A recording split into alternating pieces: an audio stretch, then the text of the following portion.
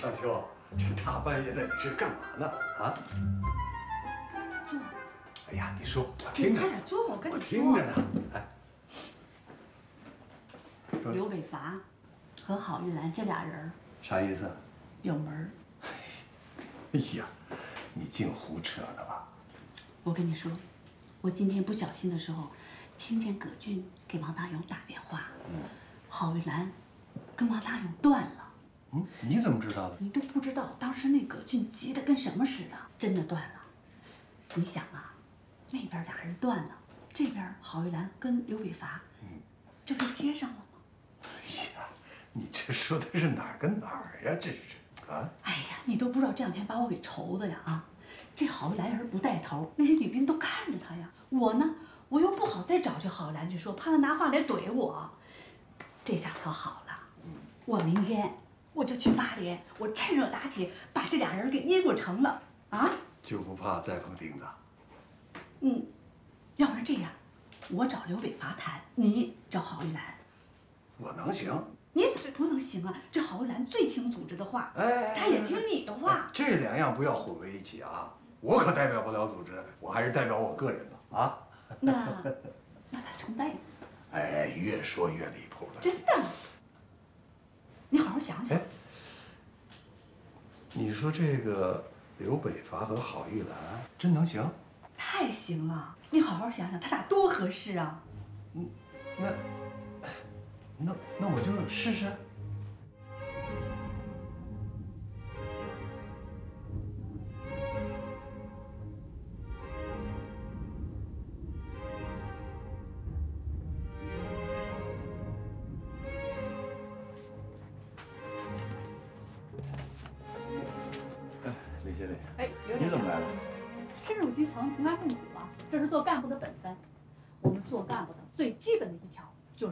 脱离群众，脱离群众了，就什么都干不了了。你铺垫这么多，你找我肯定有大事了。哎，你别倒水了，坐坐坐，你坐，来，啊，来呀。这真真有大事啊？我实话跟你说吧，我来啊是为郝玉兰的事儿来的。郝郝玉兰的事你不找他，去你跟我说什么？老刘，你别给我装糊涂啊！你俩事儿我都听说了，你在山上伐木的时候救过郝玉兰，郝玉兰呢也挺关心你的，又给你洗衣服，又为你抱打不平，这其中的道道道，连团长都看出来了。这哪儿跟哪儿啊？哪跟哪儿？男人跟女人，月亮跟星星啊！一套一套的干什么？笑，你就没想过？想什么呀？你就没想过成个家？我觉得郝玉兰合适。你说什么呢？大声音你都没听见呢。我我觉得你俩合适啊。你你这这这样硬性的把我们俩扯在一起有意思吗？我这眼光啊，一瞅一个准儿。老刘，你得带个头。我看了，那给你找对象，那就找最好的，全八连啊，也就是郝玉兰，郝玉兰才能配得上你。哎，你别倒水了，我跟你说正事儿呢。我给我自己倒好吧。郝玉兰呢，不仅人能干啊，长得也漂亮。要说不足呢，就是带了个孩子，还结过婚。不过那孩子是是是烈士的遗孤哎。哎，再说了，你不是也结过婚吗？没啥大不了的。李经理，嗯，人家在老家有人了。断了。要不然我怎么敢跟你提这事儿啊？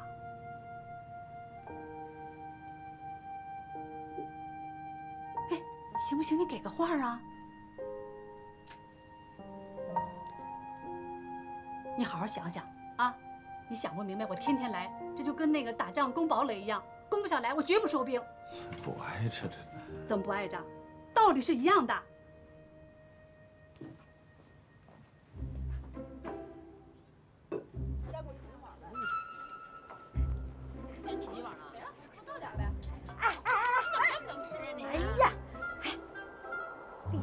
啊，我哪猜得着？他是来牵线提亲的，那也轮不着你。你把人都还上了？俺倒是想嘞，但李协理啊，跟刘连长说的话，俺听得清清楚楚。他们说那是玉兰的事儿，李协理要给他俩提亲呢。拉倒吧你，胡彩娥，你净指那些不靠谱的事儿。怎么不靠谱啊？俺觉得靠谱的很。哎呀，我问你，我问你，你说玉兰真的能嫁给刘连长啊？怎么不能啊？咱刘连长有模有样的，站那是一棵松，走起来那是一阵风，是吧？哎，这样的男人咱还挑什么？要是放在我面前，俺立刻就答应了。俺看你呀、就是个花痴，大伙都别听他的啊，快吃饭吃饭吃饭。哎，俺呐嫁大炮就是嫁太早了，要不然俺跟玉兰好好争一争，啊，他不要正好给俺呢，是吧？哎呀，别胡说八道了啊！你能跟玉兰比啊？啊，怎么不能？那俺哪儿比他差？哎哎哎，你也不瞅瞅你自己这样儿，你说你刘连长能看上你啊？那好玩呢。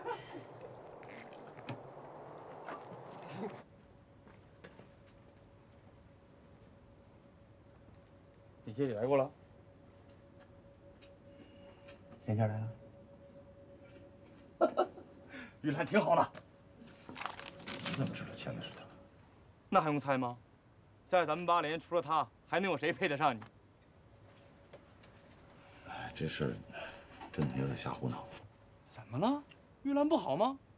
人挺好的，当过副区长，在咱们马连窝子那是女排长，怎么的？还嫌弃人家了？我没说他不好，是我不能。那咋的了？我们我们俩不是一路人。你有文化，人家没文化。哎呀不是这个问题，是我自己的问题。你这绕来绕去的，就嫌弃人家呗。这两个人相爱啊，必须要全身心，是要用生命去爱。这个爱是发自灵魂深处，这样才行啊！如果没有爱，那两个人在一起生活说的我都听不懂，这太深奥了吧？哎呀，老刘啊，你想的太多了。你看啊，你呢，心里有一个死扣，他心里也有一个死扣，你俩走在一起，没准这扣就解开了，对吧？这扣吧嗒一解开，爱来了。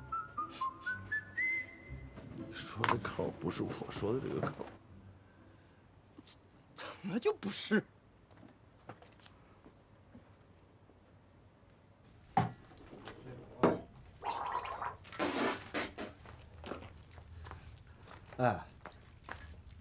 知道是怎么说？听见了吗？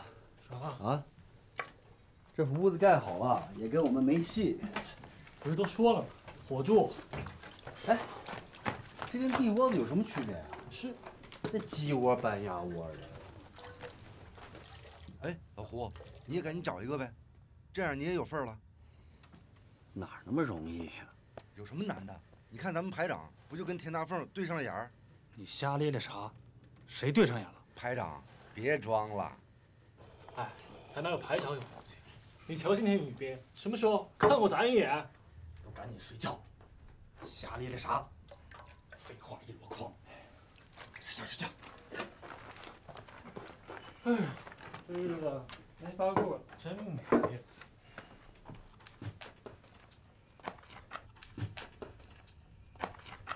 哎。我说老胡啊，咱们回老家得了？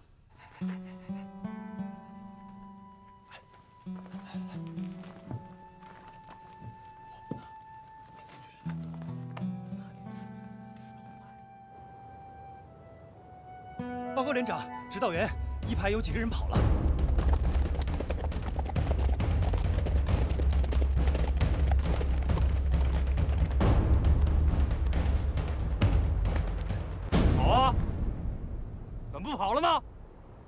当逃兵了是吧？指导员，我们我们这也是没有办法了。这是你们当逃兵的理由吗？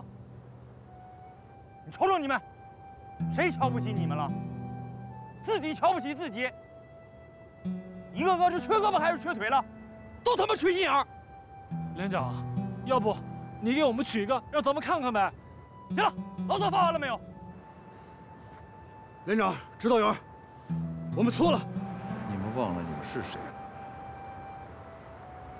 你们现在是解放军战士。给我回去，走。站，站，站！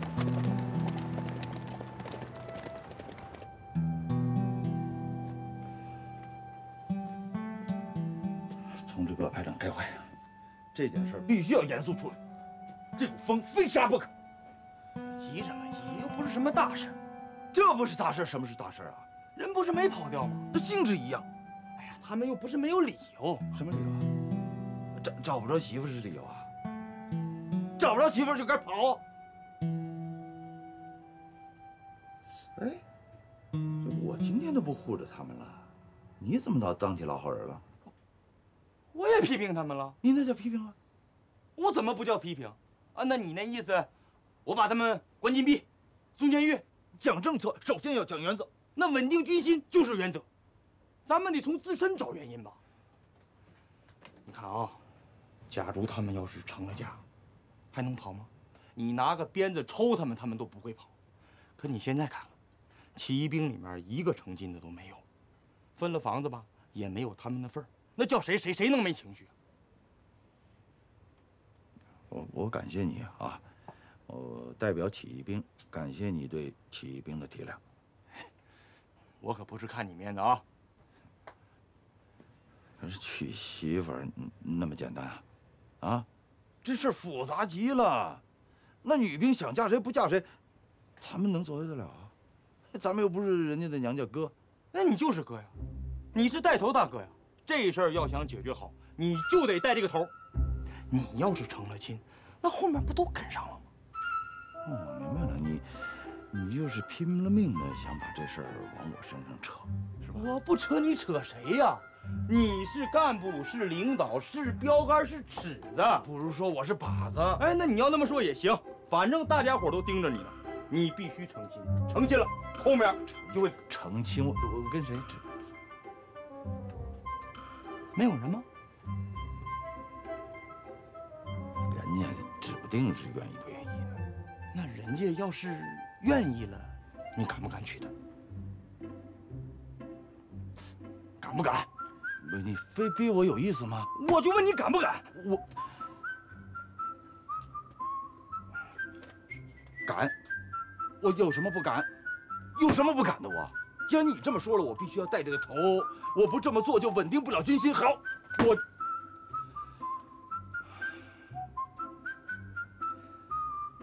我我牺牲了。好，这就对了。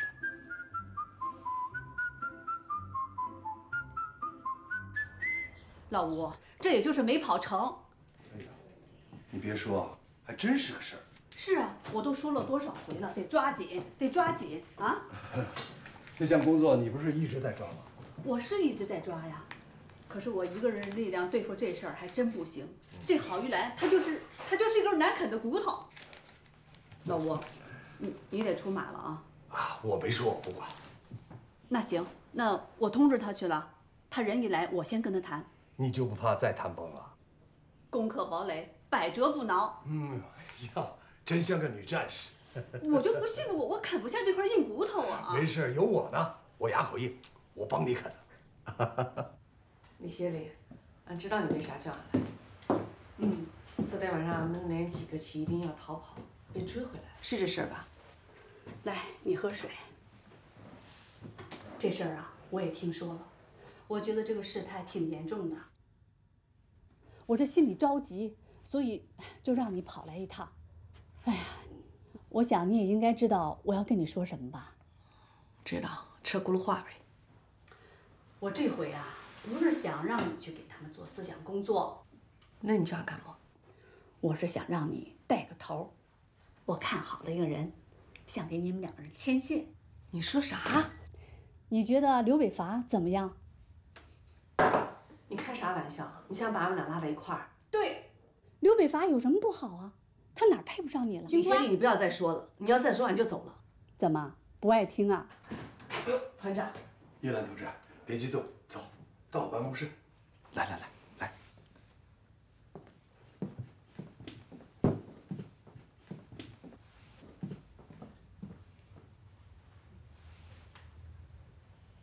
吴团长，李协理刚才的话俺听明白了，叫俺带个头嫁国民党起义兵，你就别劝俺了，这事不成。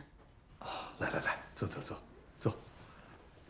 哎，我觉得呢，成家、结婚，主要还是要看人。你是对刘北伐有意见？那倒没有，他是个好人，哦，就因为他是国民党起义兵，这一条就够了。我觉得你是不是有点太偏激了呢？俺跟赵虎结婚才一年，就去之前，俺们推个小车，走了十来天，连口气儿都没喘，国民党的炮弹就飞过来了。俺们家那口子为了掩护大家伙，自个儿被炮弹给炸了。俺搂着他，叫天天不应，叫地地不灵，俺哭的都快没气儿了。俺捂着他那条断腿，那血就呼呼的往外冒，一直到流干了。还有俺的宋敏大姐，就是解放他妈，她也是被国民党给杀害的。抓他的那天，俺就抱着个解放，解放才五个月大呀，俺在后面追呀追呀，俺自个儿都没生过娃儿，俺给解放当了这么多年的娘。吴团长，你说这坎儿俺咋过去？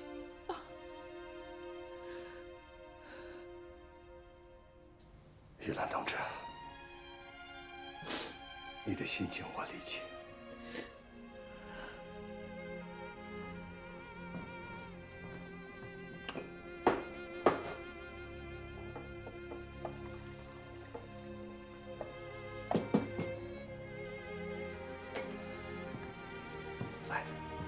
口水。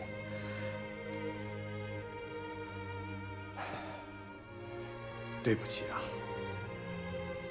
也许我们把问题看简单了，只想着尽快解决起义兵的婚姻问题，并没有在乎你们这些女兵的感受啊。是的，他们这些人是在国民党队伍中干过，是跟共产党打，你们的心情我可以理解啊。那么多的人流血牺牲。你们女兵中有许多的家破人亡、妻离子散，包括你呀。可是玉兰同志，我想趁着今天的这个机会，跟你谈一谈对起义兵的看法。你可能还不知道吧，咱们新疆是和平解放，是陶思岳将军率兵起义的。这支起义兵分布在各个师团。你们连就是刘北伐他们。可是你知道这次的起义意义有多么大吗？啊，他避免了多少流血牺牲？那是立了大功的。陶思岳将军现在就在兵团司令部，领导着我们继续革命。他是一位非常受人尊重的领导。难道他领导的起义兵？我们就不应该尊重吗？我实话跟你说啊，一开始他们分到咱们团的时候，我跟你的想法是一样的，也不愿意跟他们为伍。可是后来呢，大家在一个锅里搅勺子，共同在一个屋檐下生活，对他们就有了新的看法。其实这些起义兵当中啊，大部分都是穷苦出身，他们在家也有父母爹娘。也有兄弟姐妹，好多起义兵，那都是当年抓壮丁抓到国民党队伍当中的，这难道怪他们吗？不能吧？啊，玉兰同志，你过来看，你看，新疆在这儿，山东在这儿，新疆与四个国家相连，你说这地方大不大？哎妈呀！比我们山东好几个都大呀！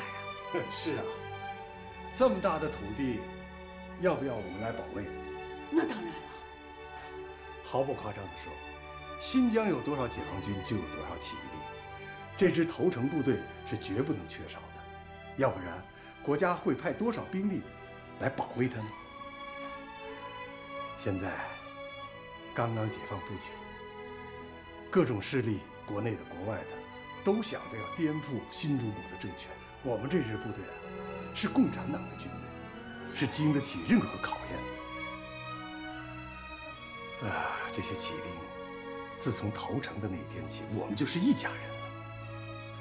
如果我们总是另眼相看他们，那不就是乱套了吗？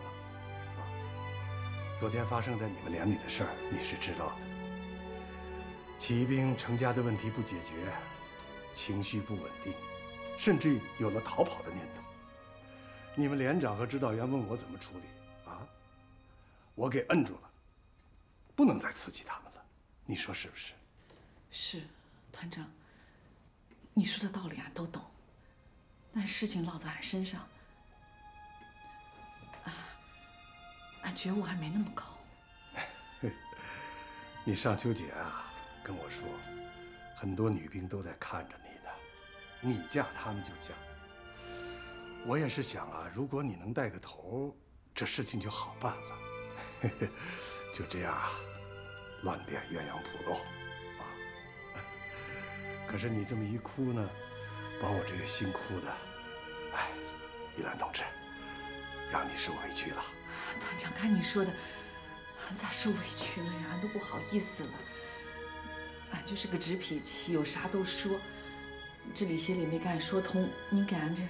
掰开了揉碎了说，您这么忙，俺还有啥委屈啊？好了，话说到这儿，这个事儿就算过去了，再不提了，啊？啊？嗯，这是么意思？啊，说到头，嫁人是你自己的事儿，组织上绝不能强求，我们一定要尊重你的意见。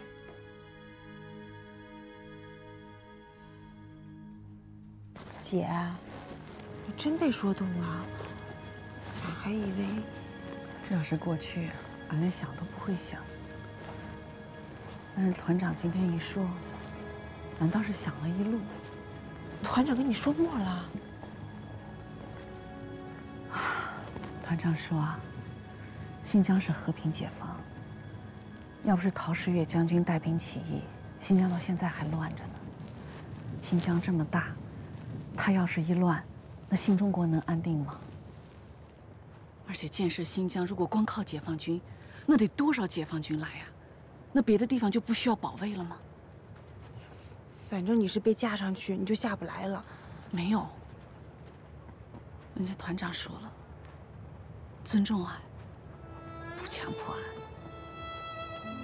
他这么一说，俺倒心软了。玉兰姐，嗯，你跟连长就真没感情？你要说感情，那也是同志之间的感情。他帮过俺，救过俺，俺挺感激他的。那说到谈婚论嫁，俺压根儿就没想过。俺看不是，咋不是？那以前你有大勇哥，俺老觉得你俩分不开，扯得紧。可现在不一样了。你俩成不了，你还真一辈子不嫁人啊？要说一辈子不嫁人，那也不现实。那不就妥了？啥妥了呀？嗯，俺看了又看，全八连就你和连长最合适。俺跟他咋合适了？连长要找的，那得是有文化的，文文静静的。说话慢声细语的，这一样，俺一样都没有。再说了，俺看上的男人，那也不是他那样的。你说赵虎和大勇，那都是说话直来直去的，没啥文化，但是说话俺就爱听，就能逗俺笑。打起仗来更是没得说。俺跟他们在一起。那撑着肠子过。舒坦。这连长说话，说一半藏一半，还让你猜，啊，哪能猜到他要说啥？气死人！这要不是组织上硬说，俺连闪念都不会有。俺知道，在你心里，那组织就是天。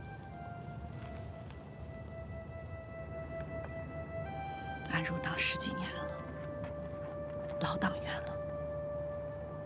这十几年，组织让俺干啥，俺就干啥。他不光是天，他还是俺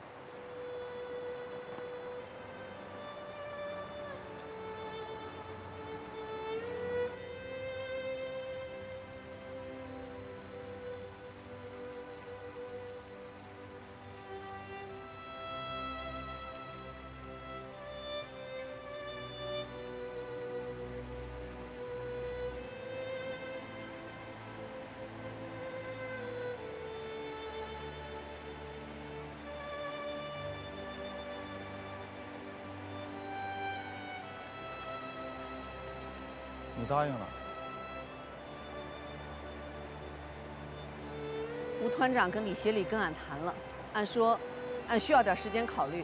啊，我不管你怎么考虑啊，我先给你打个预防针。俺没病。谁说你有病啊？没病要打啥针？哎呀，我我我说的什么你怎么都听不懂呢？俺就是个二傻子，你就别跟俺谈了。哎，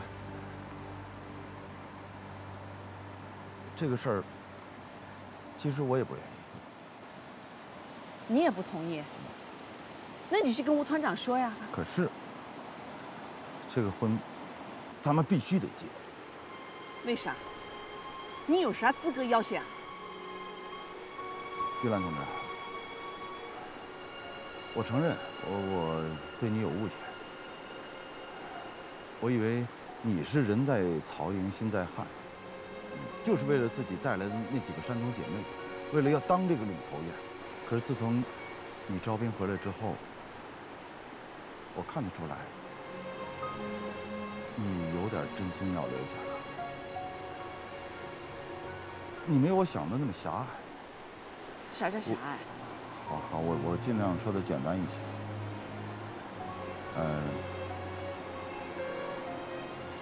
我也不想留下，可是我必须留。你别以为我这么做是为了我们那帮兄弟啊！新疆这块地方有多大，你知道吧？它是咱们国家六分之一的领土面积。俺知道，就是鸡尾巴那一块。那这么大块地方，是不是需要很多人、很多人来保卫它？现在咱们这儿有多少解放军，就有多少起义兵。这么多人，几十万人啊！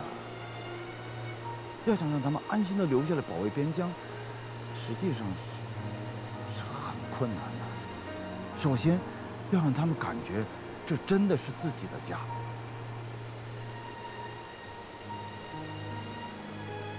你别总说你这么做是为了保护那些姐妹，你是不是还需要有更重要的事情来考虑？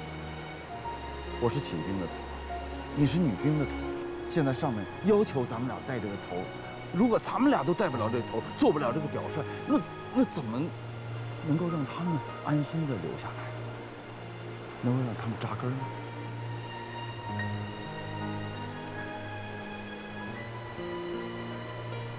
你讲的这些大道理俺都懂，俺觉悟没那么低。那就算我刚才白费口舌。俺就是不明白，俺为什么非要嫁给你？俺就不能嫁给别人？你看你又绕回来干什么？你你刚才说自己觉悟高啊，可实际上你是在乎自己的个人声誉。俺，没有，你就是，你以为不是吗？你是怕我玷污了你郝玉兰的名节。俺就是心里过不了这个你坎儿告。诉我什么坎儿？你为什么不肯加呀？俺恨国民党。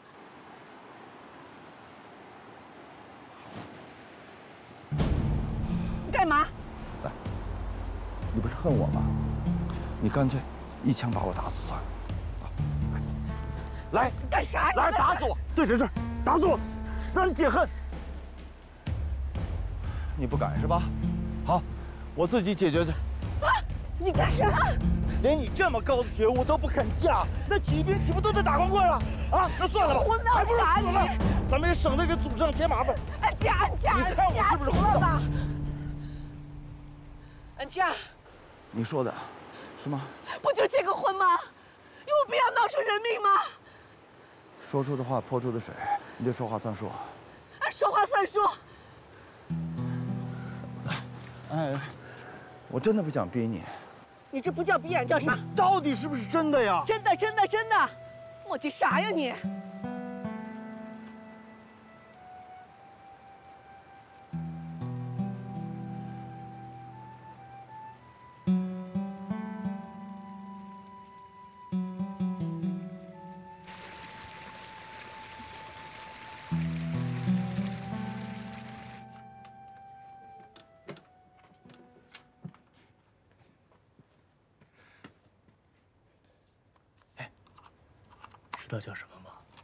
叫有情人终成眷属。我们俩不是有情人啊，那你俩是什么呀？我们俩是你逼的。那我是你爹啊，还逼你？哎，你你别扯那个，你俩要真没那意思啊，谁扯也扯不到一起去。哎呀现在你随愿了，啊？我随什么愿呢？真把我当成玉兰家的娘家哥了？你你以为你不是啊？你看你吧，上蹿下跳，又报信儿又又又，呃比你自己接还着急呢。哎，你真是好心不知，嗯，不不当当当成驴肝儿，哎，你就是那东西。反正我要是不答应啊，一个你，一个李协理，整天在我耳边嗡嗡嗡嗡，烦都烦死了。既然玉兰也同意了，我配合。不是，这，你你你要是不情愿，你可以不答应。我不答应，你答应啊？那我肯定不答应。那从上面说是领导指派给我的任务，我必须要坚定不移的完成。那从下面论，现在，那我是玉兰的娘家哥了，他那事儿我不能不管。哎呦，娘娘娘娘娘家哥啊，你歇歇会儿好吧？老刘，就是论男女之事吧，我还是有发言权的。你怎么没有发言权？我结了婚了呀。哎呦，别看你们俩现在是不情愿，等你们结了婚之后啊，哎，就情愿了。哎，我跟你说，俺们山东大嫂子可会疼人嘞！哎呀，连长，赵元，连长，今年哎什么事儿？明天我也到团里领证。胡闹开！明天是人老刘领证的日子，你跟他凑什么热闹？我和田大凤啊，成了。哟，你们俩怎么悄没声的成了？那还能咋的？那那还敲锣打鼓不成啊？那怎么不早说呀？现在说也不晚呐。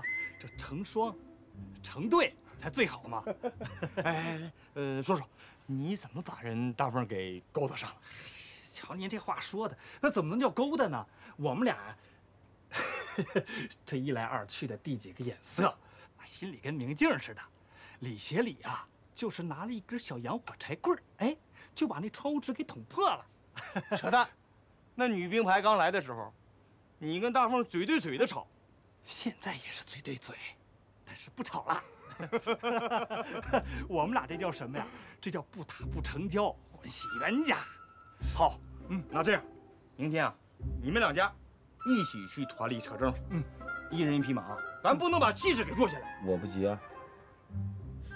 你为什么不急啊？我都答应了，你还怕我跑吗？哎，行行行行，能成一对儿是一对儿。对，那就这么定了。定了，好，走吧。行，那我走了啊。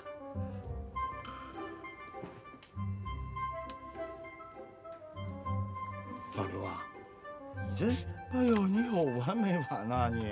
哎，你等等等等，你就等吧，再等黄了，我不管了。哎呀，好，好，你该干嘛干该该该干嘛干嘛去吧，去去去去。俺们山东大嫂哎，可知道疼人嘞，知冷又知热呀。山东大哥，我谢谢你好吗？赶紧睡吧啊。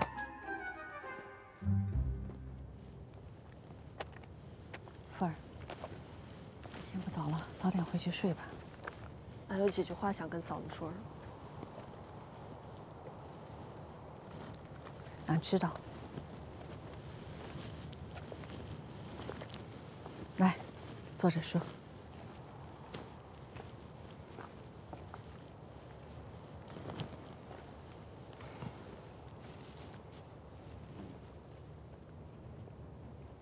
想不通，俺觉得嫂子你变了，变得凤儿都不认识了。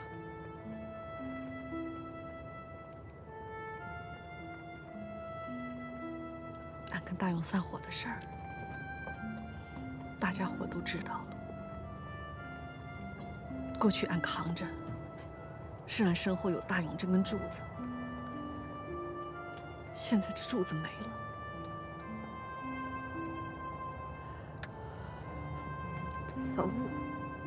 你这是在赌气吗？是。他这心里头像被刀戳了一下。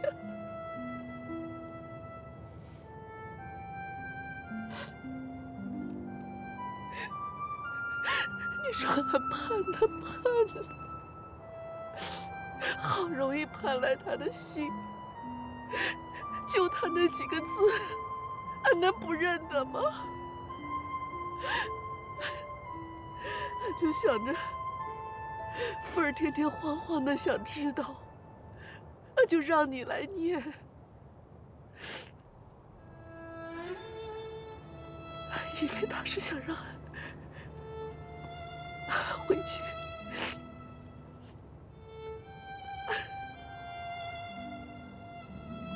嫂子，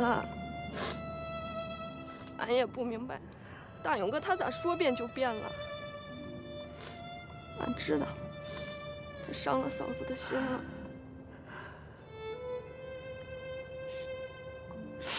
伤了，疼的厉害。俺也知道他是不得已。你大勇哥是个孝子。这是他娘最后的一个念想。你说他不这么做能行吗？